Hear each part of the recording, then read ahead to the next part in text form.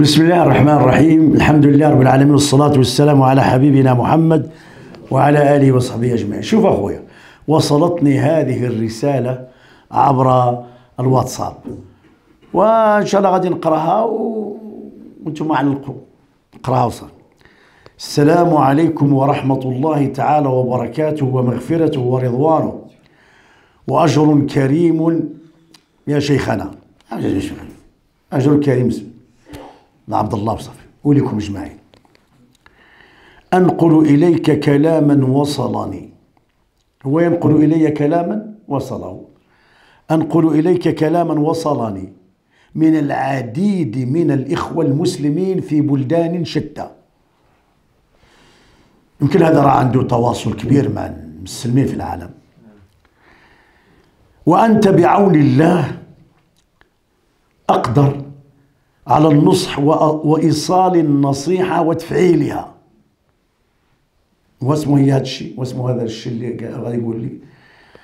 الكثيرون يقولون الأزهر قادم. لكن عند مواقف الجد لا نجد شيئا ولا أثرا للأزهر الشريف. ما الذي يمنع شيخ الأزهر وهيئة كبراء وهيئة كبار علمائه من التوجه بأشخاصهم بذواتهم ومعهم الناس. كما فعل الإمام العز بن عبد السلام رحمه الله. يتوجهون إلى الحدود إلى معبر رفح لفك الحصار عن إخواننا وأهلينا من المسلمين. فمجرد تواجد أولئك العلماء بقيادة شيخ الأزهر. يعيد للأزهر في هذا الوقت وزنه ويكون له الوزن الذي يستحقه خاصة أن للأزهر نفسه فرعا هناك. الناس كثير ما يلومون الوهابية اللي كيسموهم المداخلة على مواقفهم المخزية من الأحداث.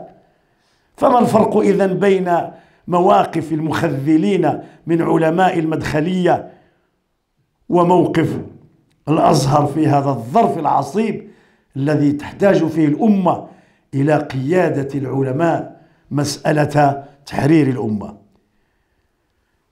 ما موقف الأزهر الآن الفعلي والعلمي والعملي والقضائي؟ وفيما يخص الفتاوى تجاه إنشاء مركز تكوين هواء يتكلم عن المركز. يعني قال واسمه هو إن شاء الله تعالى آه، القول ديالو الفصل والفتوى في مركز تكوين الذي أقيم مؤخرا في القاهرة في أربعة خمسة في بلد الأزهر وقرب الأزهر. فيختم الرسالة يقول يا عبد الله رحم الله الأزهر فقد غلب نابليون أوروبا ولكن الأزهر غلبه. أنا واسمه قال لي قال لك زعما باش تبلغ وكذا وزعما والازهر خصو يقوم بالدور الأزهر خصو يقوم بالدور واش خصو ولا لا؟ خصو يقوم بالدور علاش؟ لأنهم العلماء ولأنهم هم الذين يمثلون أهل السنة في العالم الإسلامي. زيد وكان غير الأزهر ولا زيد والقرويين. زيد. الزيتون هذو ثلاثة معروفين. معروفين. شكون اللي يقبل القرويين ولا ولا ولا ولا ولا, ولا الأزهر؟ القرويين. اللي خرج العلماء خرج الأسد بن فرات. الذي فتح صقلية من علماء المالكية. ها؟ والزيتونة. ها؟ تونس. والأزهر هذا العلماء فرهم ولذلك بالنسبة للفتاوى نتاع الأزهر كاين ولا ما كانش والتصريحات نتاعهم كاين ولا ما كانش كاينة. يعني الأزهر هو المتقدم في مسألة الفتاوى التي تفتي بوجوب دعم إخواننا. هذا راه حق هذا ما عندنا ما نقولوا. ياك. ياك. وحتى في القضية نتاع مركز تكوين بدأ الأزهر يتململ وحديث كثير من علماء الأزهر على أن هذا الأمر آه، وراهم غادي كاع كيديروا إجراءات باش يوقفوه إجراءات قضائية. الآن إن شاء الله تبارك وتعالى. بغيتوا الأزهر يدير شي حاجة أكثر من هذا الشيء ويخرج العلماء ويمشيوا لرفح؟ بغيتوا هذا الشيء ما بغيتوش؟ اسيدي إحنا بغينا نحن كمسلمين نريد للإمام أن يكون أمامنا وأن يحيي سنة الإمام عز الدين الإمام العز بن عبد السلام ويتقدم الناس ويمشي إن شاء الله يدير هادشي. هادشي هو مبتغانا وهذه رسالتنا نوصلها سيدي أنا. إلى وصلت ها نحن نلتمس من شيخ الأزهر ومن علمائه ومن علماء المغرب وعلماء تونس وعلماء الجزائر وعلماء السعودية وعلماء البحرين وعلماء إندونيسيا وعلماء الغرب والشرق. أن يجتمعوا ويتوحدوا ويخرجوا بموقف موحد بفتوى علماء المسلمين في العالم وإجراءات ولقاءات مع الدول مع رؤسائها. هذه هي غايتنا. هذا هو مبتغانا. هذا ما نريده من العلماء. وهذا الشيء يتحقق ولا ما يتحققش؟ إن شاء الله إذا كان إذا كان إذا كان يتحقق. ولكن عندي اسمحوا لي يعني زوج دقائق.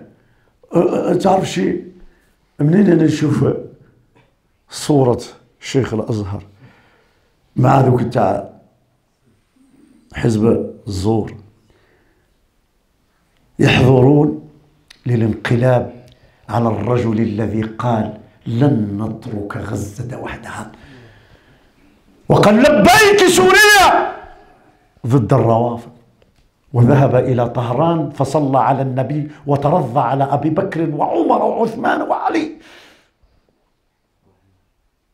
الرجل الذي تحرك العالم حينما قال مصر اليوم ليست كمصر الأمس.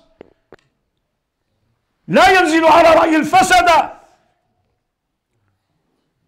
وانتخب من قبل الشعب في أول انتخابات نزيهة شهد لها العالم بالنزاهة منذ محمد علي أول رئيس منتخب وأنت تحضر لإسقاطه تعرفوا علاش ولا ما تعرفوش؟ علاش؟ لأنه ليس منتخبا من العلماء ولكن معينا من السلطة الرسمية وما دامت هذه القلاع الدينية التي كانت تحدث التغيير العميق يعين هؤلاء من قبل الحكام ويعطونهم الأجر. ما بقاوش يخصوا كما بكري من زين. فلا تنتظروا شيئا كثيرا من ذلك. وصلى الله على حبيبنا محمد. هذا السيد هذا إن شاء الله تعالى. وخا هذا ابن